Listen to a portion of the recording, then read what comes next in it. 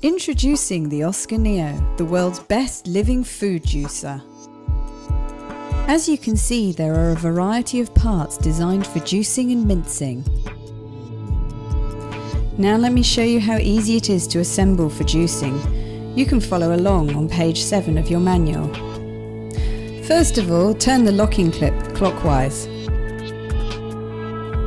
Then attach the drum to the front end of the motor and lock into place. Next comes your screw which you need to insert into the motor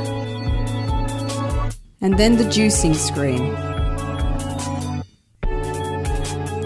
Following this, place the drum cap over the end and make sure you turn it counterclockwise until it clicks firmly into place.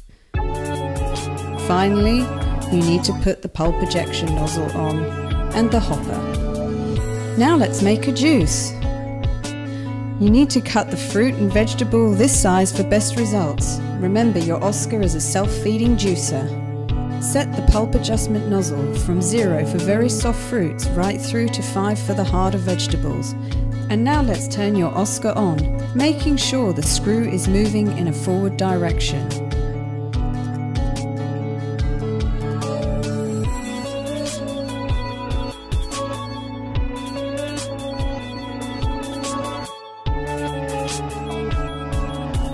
Look at that! Delicious and nutritious.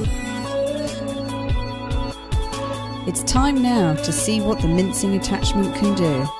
The only difference in the assembly is now you're using the mincing screen, not the juicing screen. As you can see, we are going to make some bliss balls. You only need one container for this. Move it to the front so that it catches the mixture.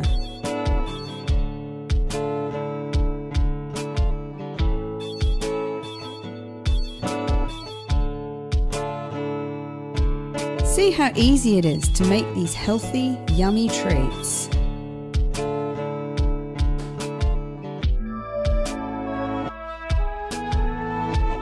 It's simple to clean your Oscar Neo. Pull it apart and rinse. The screens just need a light scrub with the brush provided.